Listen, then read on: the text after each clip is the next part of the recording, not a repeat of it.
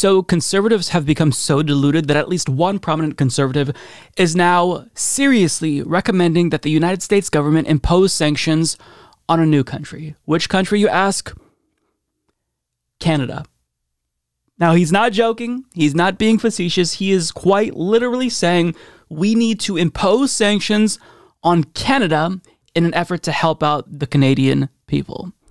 Take a look at why he says we should do this insane thing. The Canadians are some of the most loyal, lovely, friendly people, and they've always had America's back. And now we should have theirs. Our government should impose sanctions on the Canadian government.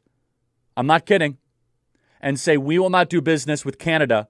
We will shut down the border until you lift these vaccine mandates. You want to choke out Justin Trudeau? Tell him he can't bring his maple syrup into America.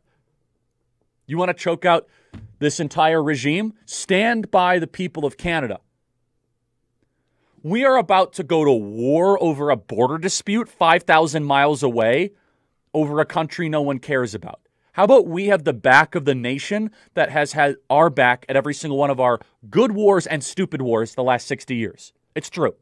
Whenever America wants to go invade a country, the Canadians are right there beside us. Anytime we want to go take out special forces, take out someone with special forces, the Canadians are right there beside us. I could be wrong, but I believe that the taking out of Osama bin Laden was a Canadian U.S. led force. I believe there were a couple Canadians part of that. You don't want to mess with. The, you do not want to mess with the Canadian special forces. At the very least, Republican governors who do business with Canada should sanction them and say, for right now, we're not going to do business until Canada stops abusing their citizens. Now you might say, well, Charlie, that's meddling in the affairs of another country. Oh yeah, we did that with South Africa, with apartheid. We do that all the time. Wait, are you seriously saying that the vaccine mandates in Canada is legally and politically comparable to South African apartheid? Is that honestly what you're saying, Charlie? Because if so, you need to get your head checked. I mean, the logic of conservatives is so ass backwards. And think about how dumb his argument is, even at accomplishing what he wants to accomplish. So he wants to impose sanctions on the Canadian government specifically to help the Canadian people. Except, do you know what sanctions are, Charlie? Do you know who uh, sanctions would disproportionately harm? The Canadian people. So while I'm sure that the vocal minority in Canada who is anti-vaccine mandate would appreciate the sentiment, I don't think they'd appreciate you fucking them over. Sanctions hurt the people. So with you saying this, it shows that you don't even understand what you're saying. You're saying sanctions, but you don't even understand the weight behind that action if we were to ever take it against Canada. And escalating against our neighbor north of the border is a very, very bad idea. We should be thankful that we have allies as our closest neighbors. We're not fighting with them, we're not in any disputes with them. We have peace in our region. That's a good thing. We don't want to change that unless you're a psychopath. And Charlie Kirk absolutely is a psychopath. Um, so he says, whenever America wants to go and invade a country, the Canadians are right there beside us. And I think that this is actually one of the um, bad things about the Canadian government. I don't think that they should support us on every single militaristic uh, endeavor that we pursue. I think that they should not do that. They shouldn't legitimize that. But still, even taking that into consideration, the way that we pay them back is to impose sanctions on them to thank them for their loyalty. I just feel like he he doesn't even understand what he's saying. And even the most non-political person ever would would acknowledge that at face value, this argument is not just unreasonable, but it's just downright fucking stupid. I'm sorry. Now, the biggest thing that he doesn't realize is that, you know, as he purports to speak for the Canadian people, they don't agree with him. So let's look at some polls here. Sarah Aziz of Global News reports majority of Canadians support more COVID 19 restrictions for unvaccinated poll.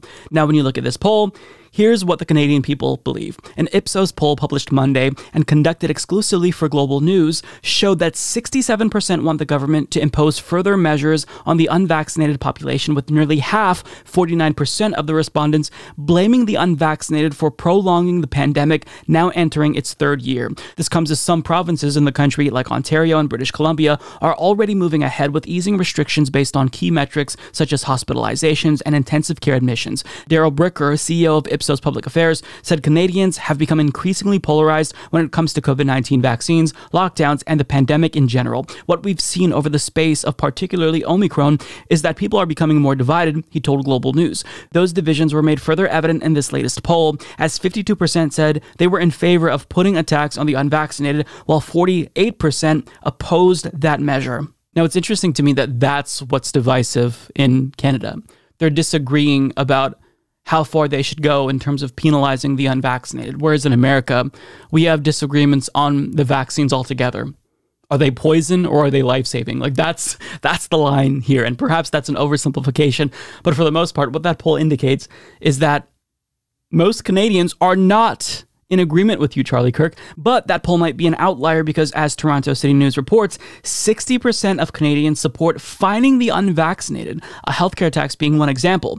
This is from Maru Public Opinion, and it was released on January 12th. So, anywhere between 52 and 60% of Canadians they support penalizing the unvaccinated. And I don't even know that I'd go that far. I wouldn't support a tax on healthcare because I believe that healthcare is a human right, you know, irrespective of whatever bad decisions you may make as an individual. So I don't even think that I would go that far.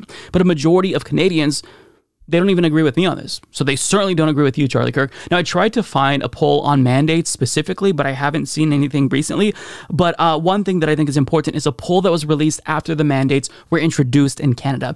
And they overwhelmingly support that a strong majority agree with the recently announced mandatory vaccination for federal public servants, 80%, and the requirement for proof of vaccination for flying on an airplane or taking train international or interprovincially, 82%. Similar proportions support mandatory vaccination for healthcare workers, 84%, for teachers, 81%, or vaccine passports to enter restaurants, gyms, or other indoor spaces, 72%.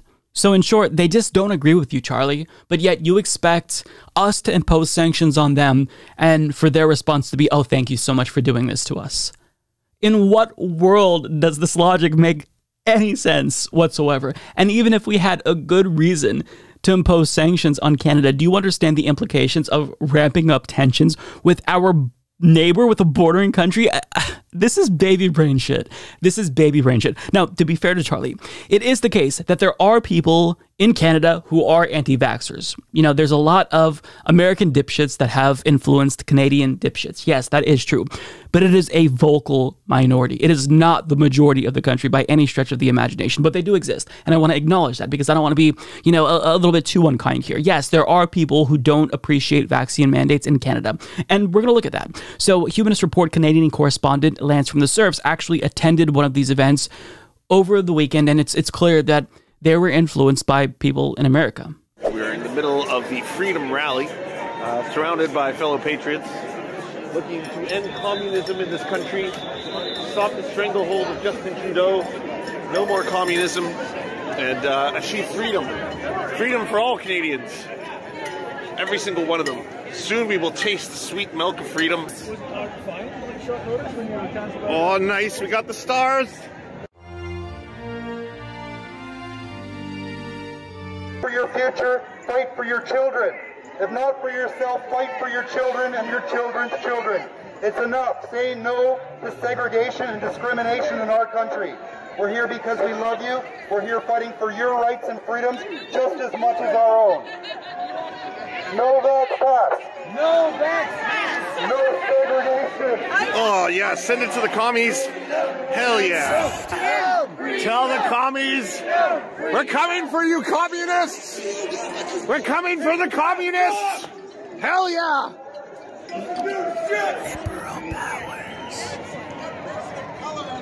Eight hundred of you.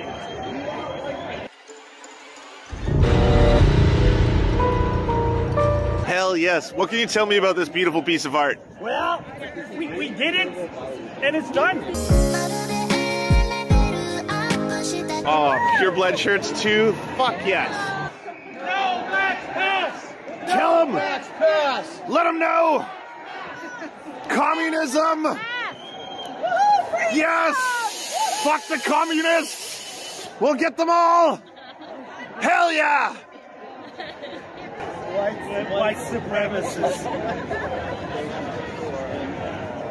Oh, the black Canadian flag. And white.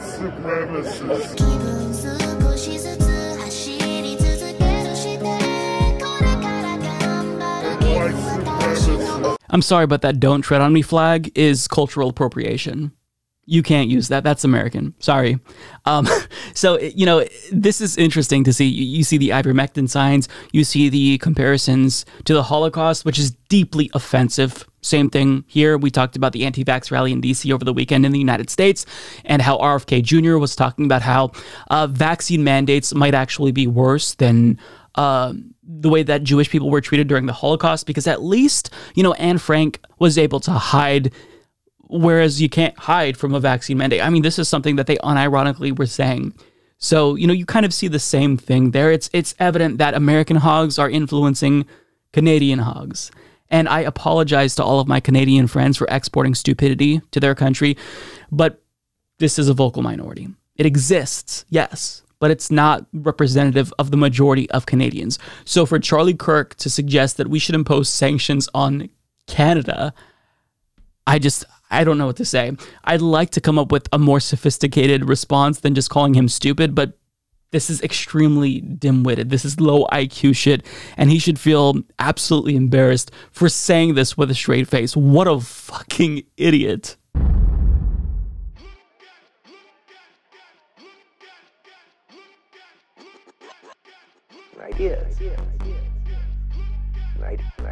ideas. Ideas. Ideas. In recovery mode, my brain ideas. In recovery mode, my brain ideas.